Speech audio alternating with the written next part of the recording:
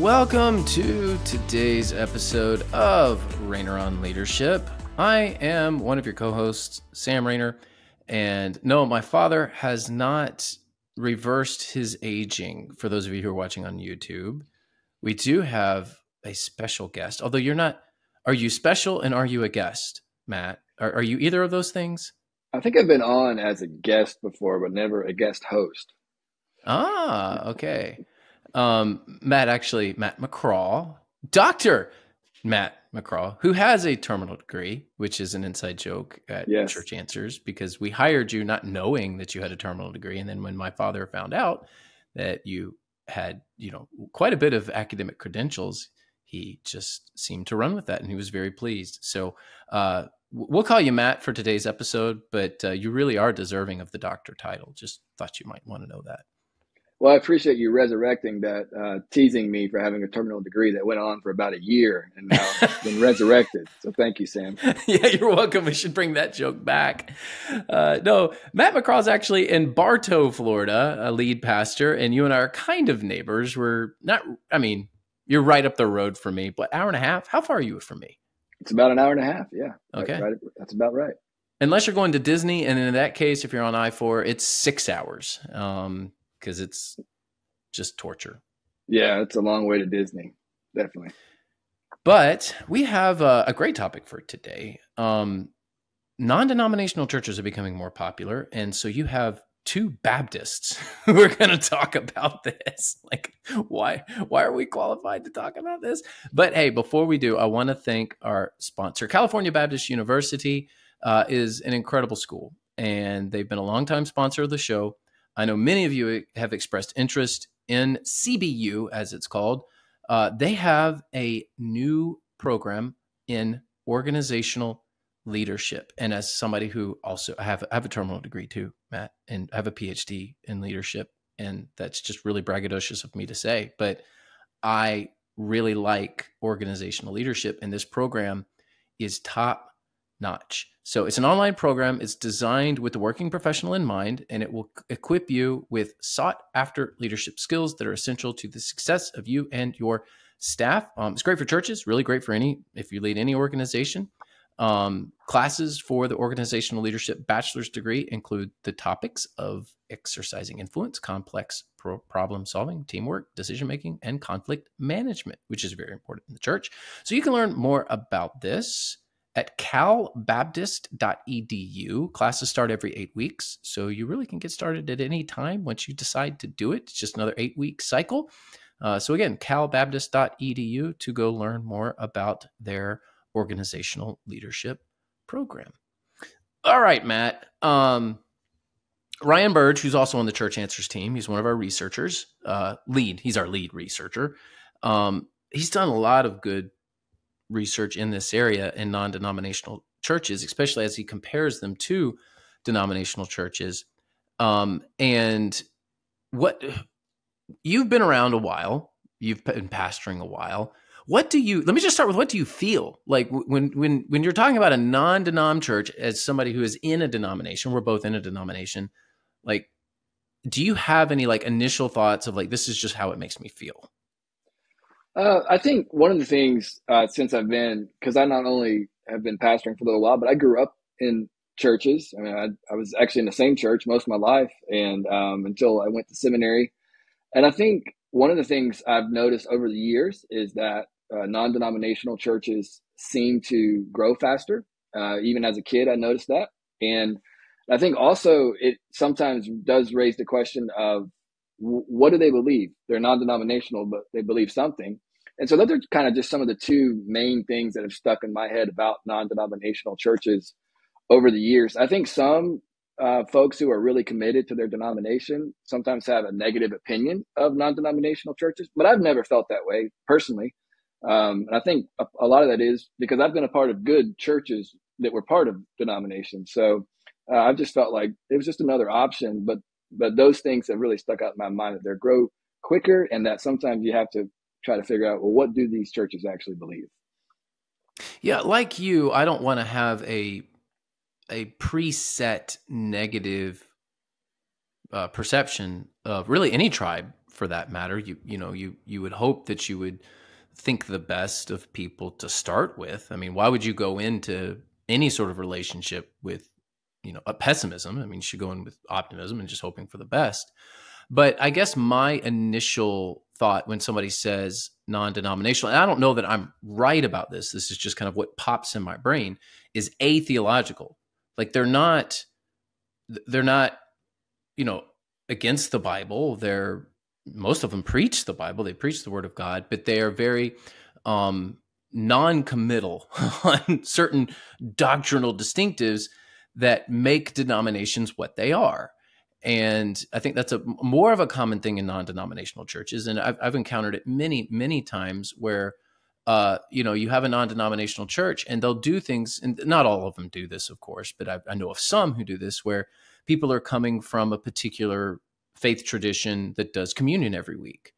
And not every non denominational church does communion every week. So they've got a room over here that if you want to take communion after the service, you can. Uh, and so there's a bit of a theological non commitment that comes with being non denominational in, in some of them, not all of them. Now, some, not, some non denominational churches are actually very committed theologically and they have very particular things that they believe.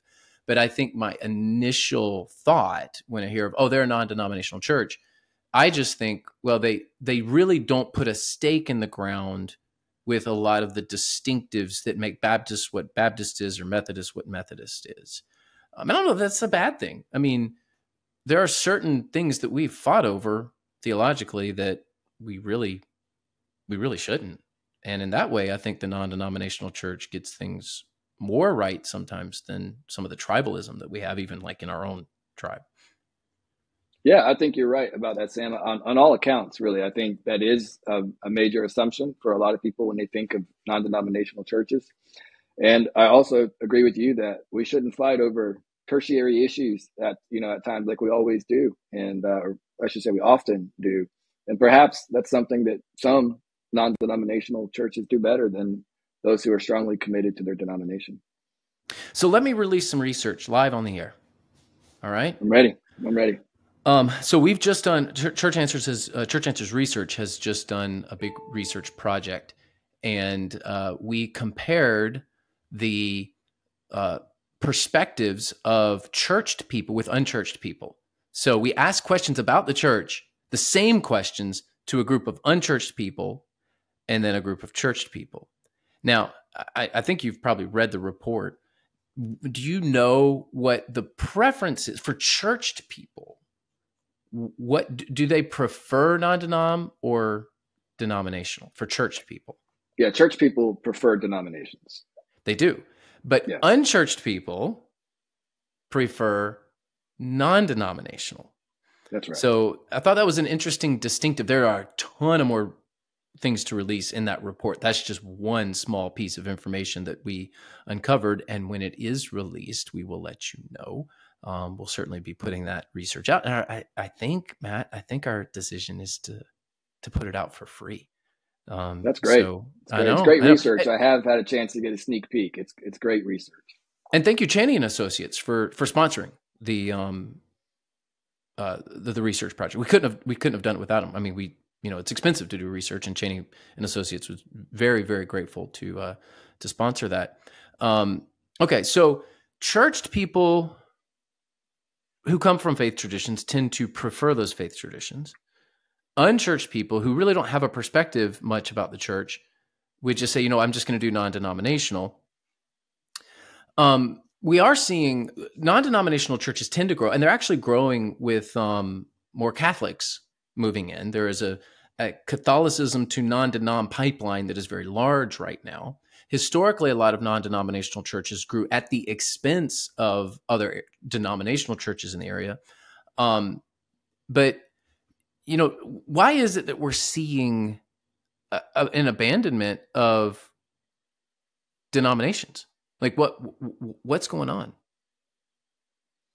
Well, I think uh, we've seen some of this historically when non-denomination, non-denominational churches were good at reaching um, those people who left some smaller churches. Sam, you've, you've spoken a lot about that in, in the recent past.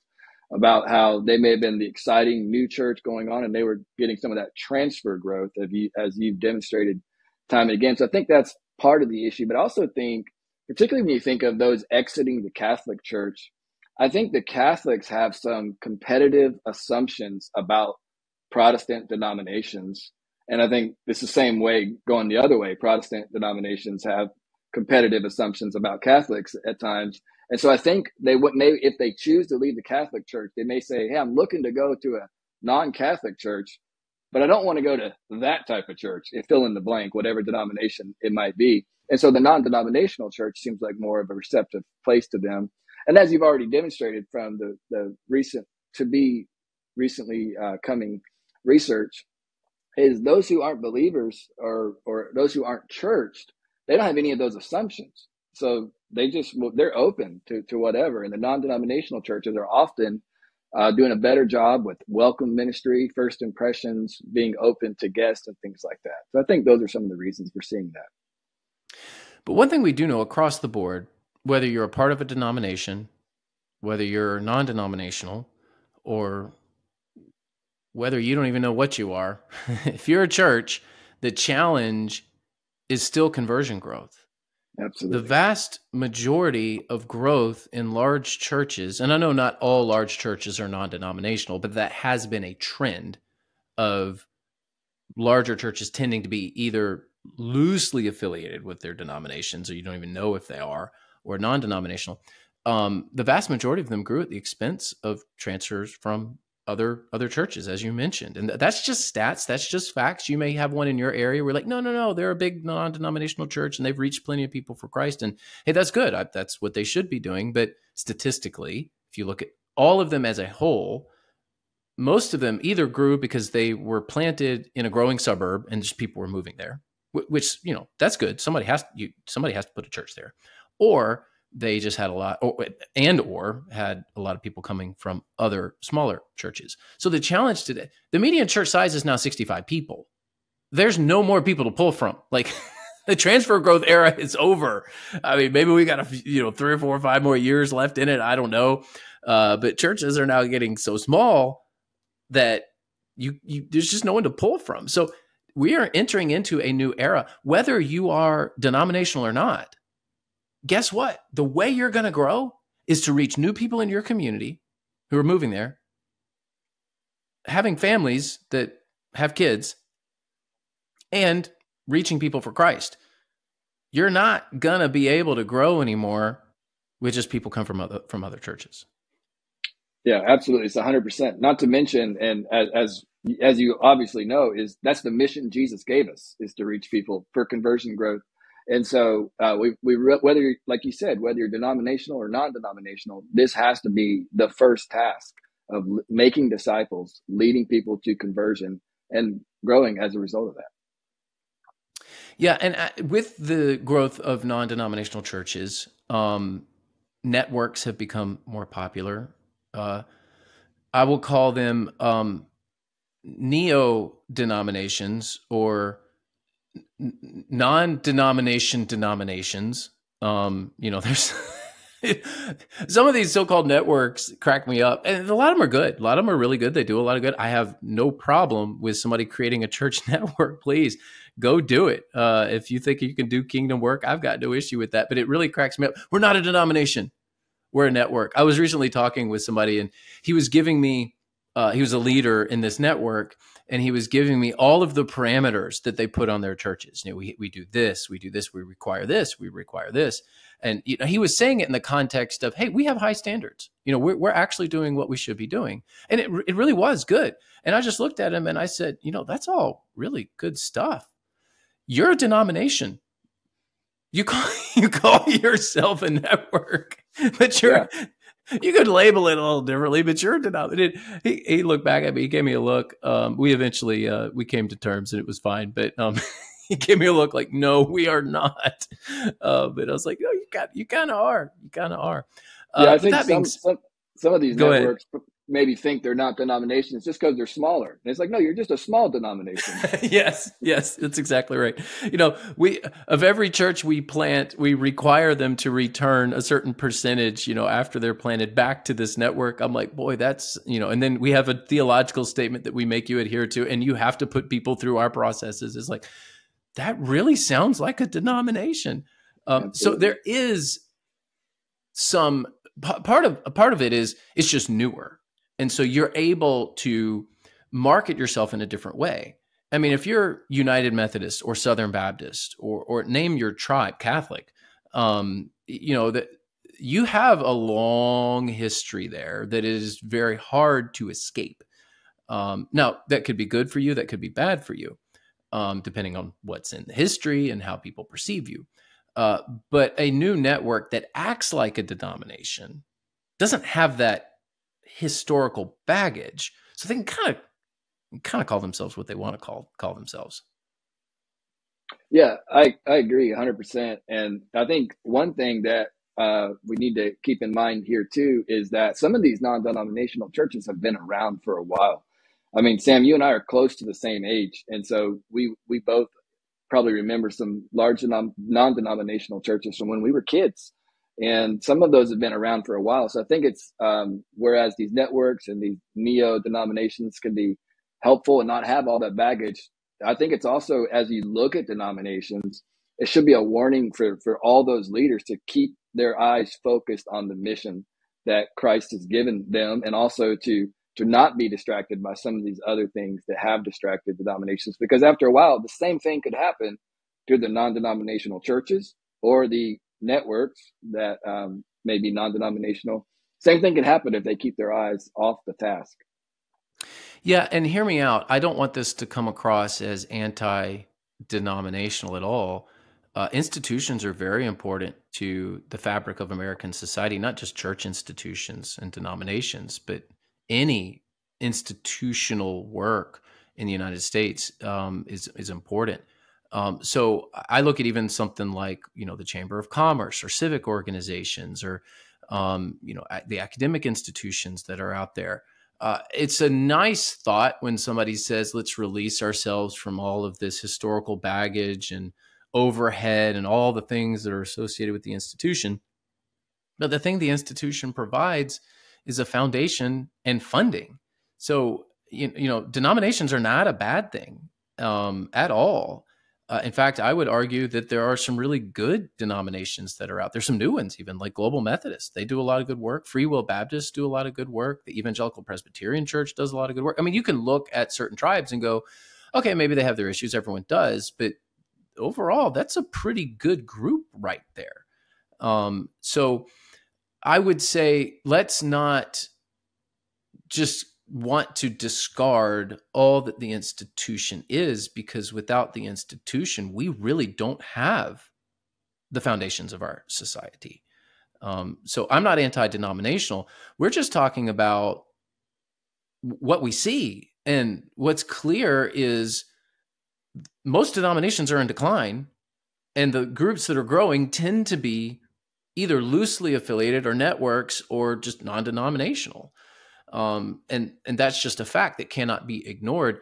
But let's not dismiss the great work that institutions have done and still need to do. I agree 100%. In fact, I'm a denominational geek myself. I'm involved in a lot of different ways in, in my denomination. But, uh, but yeah. Didn't you have think, to step out of a meeting earlier today with me to go to some denominational thing? Well, that was actually a thing at my church, but I frequently do have to step out of things uh, for church answers related things in order to go to my geeky denominational things of which I'm a part. But uh, whether you're denomination or non denominational, the, the key is keep your eyes on what's most important on the mission Christ has given us. And if you take your eyes off of it, you can have some problems very quickly. Yeah.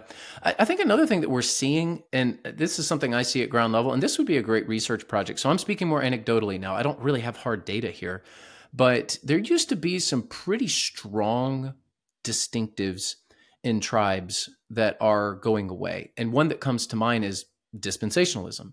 Um, you know, that's a, a more of a controversial uh, people. Well, let me put it this way: people feel very strongly about whether they are dispensational, uh, a dispensationalist, or not a dispensationalist. Sure. Uh, and but but that used to be a dividing line for a lot of tribes and a lot of churches. If you are not a uh, you know a, a pre-trib, pre-mill dispensationalist, you can't work here. You know that that used to be a very hard line for a lot of tribes, and it's not now. Uh, now some may say, well, it should be uh, and others may say, hey, thank goodness, let's, you know, that was not something to fight over. But as we see the decline of denominations, we are also seeing the corresponding decline of theological distinctives. And is that a good thing or is it not? Well, time will tell. I do think some of the walls that we've put up are unnecessary, but I also think some of the walls that I've put up in my own church are very, very important. Um, you know, uh, the mode of baptism. That's just one that's important for me. Uh, love anyone who doesn't agree with me. Goodness, we can do gospel work together, but I'm I'm not I'm not going to compromise on that. I, am Baptist. I just I can't. Uh, immersion is how we baptize. Not everyone agrees with me, and um, you know that's okay, and I'm all right with that, and I'm not angry at anybody. But that's not a distinctive that I want to go in. There's be people who disagree with me and say, "Yeah, I agree with you. I just think you're wrong. I've got my own wall put up in my own church, and I think we're right." Um, and we'll all figure out when we get to heaven. Uh, you know, the Presbyterians are all going, "Yet yeah, we know it. We know we're right. You guys just wait. When we, we get to heaven, you're all gonna see." Um, but uh, you know, those theological distinctives many times are important, and you could make the argument that we have too many tribes and too many walls. And sure, I agree, but but sometimes they're important. Yeah, I think it's it's uh, definitely important. My own personal opinions. I think the on the local church level, uh, the the folks, the staff, and and what they teach should agree with the primary issues and the secondary level issues. Once you get past that to the third or the tertiary level issues, I don't know that you have to agree on everything to be a part of the same church. But you certainly need to agree on is Christ the only way of salvation? Yes or no? That church needs to agree on that. What mode of baptism? That would be a, a second level issue for many people. I think that's important. I recall when I was in seminary, uh, interviewing for my first full time ministry position, a, a church I spoke to, I asked them about baptism. They were a non denominational church. And they said, you can baptize however you want to baptize. We do it anyway here. And I thought, well, that doesn't sit well with me, you know? And so I think uh, as we talk about the rise of non denominational churches, I think it's important that they understand what they believe and they have the ability to communicate what they believe both to guests and to their own members as, as they seek to disciple them. Um, that's my personal opinion. I, I don't think um, just because you don't have a denomination, I don't think that means you shouldn't have a core set of convictions about what you believe God teaches in His Word. Yeah, the last point that I'll make involves theological education. Um, a lot of what supports theological education is the institution of denominations in our own tribe, Southern Baptists, we have six seminaries. I've made the argument before that we don't really need six seminaries. Um, but then the decision comes down to, well, which ones go, Sam? And I'm like, you know what? I don't know. They all can justify their existence, but we just don't need six.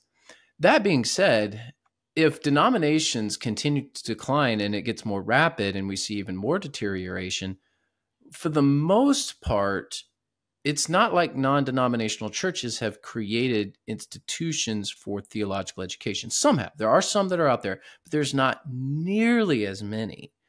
And so if we see the institution that is the denomination decline, with that will come a decline in the availability of theological education. Now, I'm sure many people could make the argument well, if the church was doing its job, we wouldn't need seminaries. Fair enough. Fair enough. That's a good point. Uh, and maybe we are in an era where we're transitioning theological education back to the local church. That's not a bad thing. But seminaries still have do have a place. They still have a very important place, uh, and help do train pastors theologically, particularly within their own framework, their own theological framework. And if we don't see denominations continue down a healthy path, one of the implications of that is just a decline in theological education.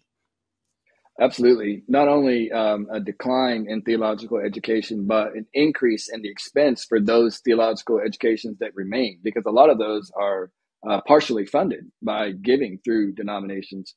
And so, yeah, I think we're going to see that. There is one healthy trend, and, and you sort of hinted at this, that I think we do see developing, and that is churches are recognizing how important it is for the education to at least partner with the local church. I think that's something in my day uh, when I was in seminary, and you were in seminary around the same time. There wasn't a, it wasn't done very well where we saw a partnership with the local church. In fact, a lot of the real life stuff that I experienced as a pastor, I didn't learn anything about it in seminary.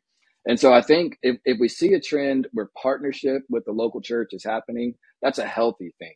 And of course, as you know, um, we have our own uh, Church Answers University. We're working with churches to provide diplomas for those who may not be able to go to seminary or may choose not to go to seminary or may have education in another field, but they want to complement that with some theological, biblical education. So I think we're going to see more of that. I think that's a healthy trend. I like having options out there for folks and let them choose. But I definitely think we need to continue to train people. And I think it needs to be done in partnership with the local church. Yeah, Matt is the dean of Church Answers University.